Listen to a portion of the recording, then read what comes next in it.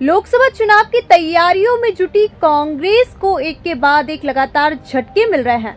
अब मध्य प्रदेश से खबर सामने आई है कि क्या कमलनाथ और उनके सांसद बेटे नकुलनाथ बीजेपी का दामन थाम लेंगे?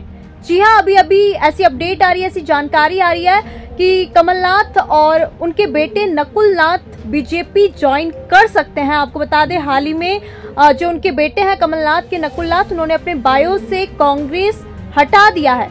जिससे उनके बीजेपी ज्वाइन करने के जो अटकले लगाए जा रहे हैं, वो सही साबित हो रहे हैं। अब देखना ये है कि क्या वाकई में कमलनाथ और नकुलनाथ बीजेपी ज्वाइन करेंगे?